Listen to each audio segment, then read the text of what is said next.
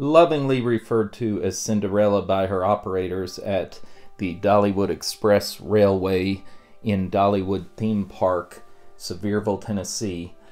This locomotive was built by Baldwin Locomotive Works in 1938.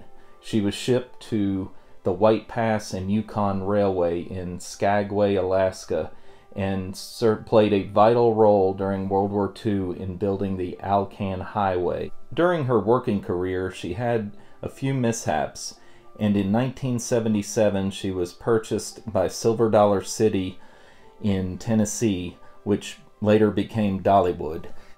The locomotive is a 282 configuration, meaning two wheels in the front, eight in the middle, and two in the rear. She runs on a 36 inch gauge. She's powered by steam.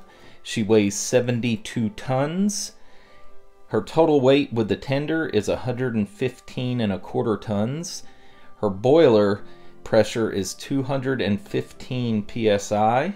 Let's take a closer look at this old warhorse and listen to the sounds that she makes.